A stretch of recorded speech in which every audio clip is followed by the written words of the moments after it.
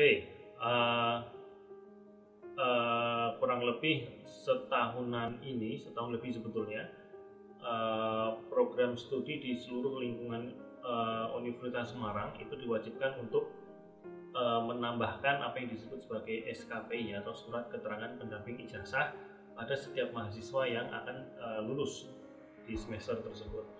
SKPI ini adalah suatu surat yang melengkapi kelulusan mahasiswa dalam artian mahasiswa yang uh, lulus nanti tidak hanya akan mendapatkan transkrip nilai saja dan ijazah tapi juga mendapatkan SKPI itu tadi.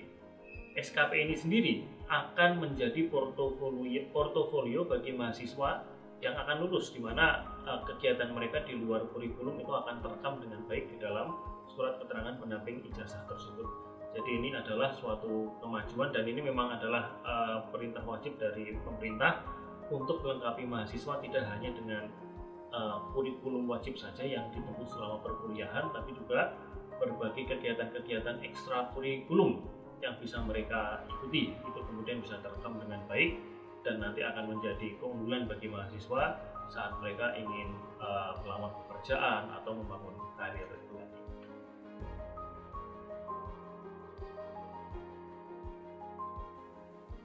secara prinsip branding atau marketing itu adalah uh, dua pelatihan uh, yang kami tawarkan untuk mahasiswa di semester ini.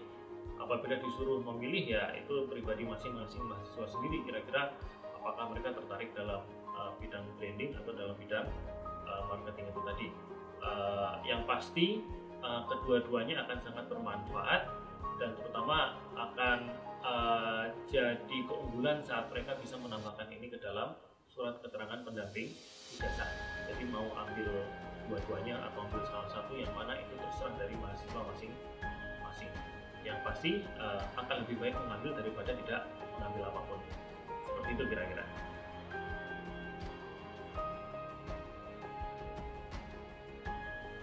Secara prinsip uh, pelatihan untuk SKPI ini kami tujukan uh, utamanya bagi mahasiswa-mahasiswa yang merencanakan akan lulus di semester ter tersebut. Uh, jadi apabila, apabila mereka ingin lulus bulan Maret ya uh, dan belum banyak memiliki uh, pelatihan atau magang atau apa pun yang bisa dimasukkan ke dalam SKPI ya lebih baik mereka mengambil pelatihan-pelatihan uh, tersebut di bulan Februari ya.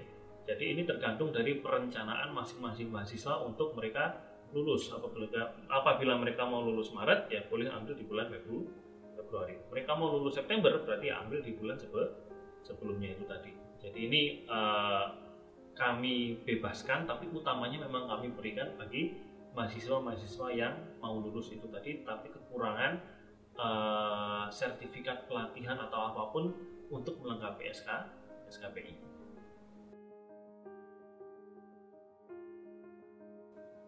Oke, terkait uh, sertifikat sebagai panitia, uh, memang utamanya kami uh, lebih menitik beratkan sebagai peserta bagi pelatihan-pelatihan yang uh, bersifat praktik.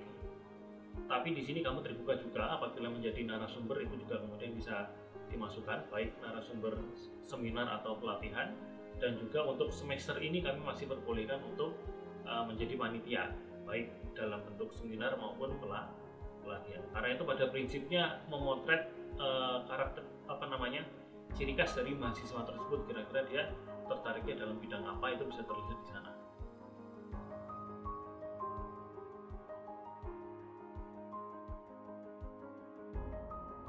Sebetulnya bukan persyaratannya ada enam, tapi itu adalah kriteria. Jadi itu maksudnya adalah enam kriteria uh, yang bisa dimasukkan sebagai SK SKPI. Untuk persyaratan minimal sendiri dari program studi itu adalah 5 SKPI.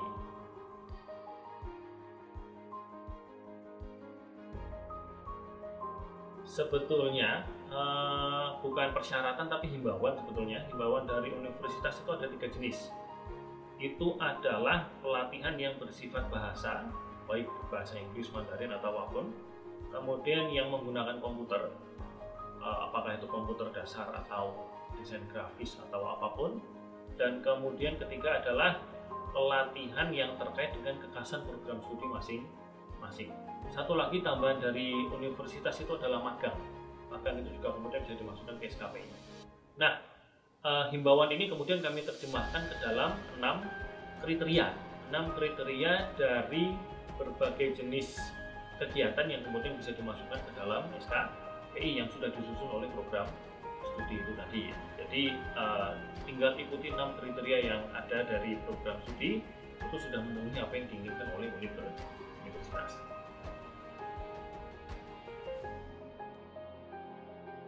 SKPI ini adalah amanah dari pemerintah, kewajiban yang diberikan oleh pemerintah kepada seluruh mahasiswa yang akan segera lulus. Jadi ini adalah suatu kewajiban dan ini adalah suatu hal yang sangat baik sekali bagi mahasiswa karena segala kegiatan ekstrakurikuler mereka itu kemudian bisa direkam dengan baik dalam suatu surat eh, khusus di sana yang akan diperoleh saat mahasiswa eh, lulus bersama dengan memperoleh ijazah dan juga transkrip. Nah, masalah yang sering kali muncul ada mahasiswa yang sedikit sekali memiliki kegiatan di luar kurikulum. Nah, pelatihan SKP di sini datang untuk membantu permasalahan-permasalahan tersebut. Karena uh, akan sangat rugi sekali apabila mahasiswa itu lulus punya transkrip, punya ijazah, tapi SKP-nya jumlahnya hanya sedikit atau bahkan hampir tidak punya sama sekali. Di sini kami berusaha untuk membantu, program studi berusaha untuk membantu bagi mahasiswa-mahasiswa yang merasa kurang SKPI-nya dengan e, melaksanakan dua pelatihan sekaligus. Jadi ini mohon dimanfaatkan dengan baik karena ini bukan untuk program studi tapi untuk mahasiswa agar nanti apabila lulus e, bukan hanya transkripnya yang bagus, bukan hanya ijazahnya yang bagus, tapi juga memiliki e, portofolio di luar kurikulum yang bagus dan terus terang saja portofolio di luar kurikulum ini juga saat ini menjadi perhatian uh, dari para employer untuk memperoleh uh, sumber daya manusia ya. Jadi jangan hanya puas dengan uh, bagusnya IPK dan bagusnya transkrip, tapi juga harus puas dengan uh, bagusnya kegiatan di luar kurikulum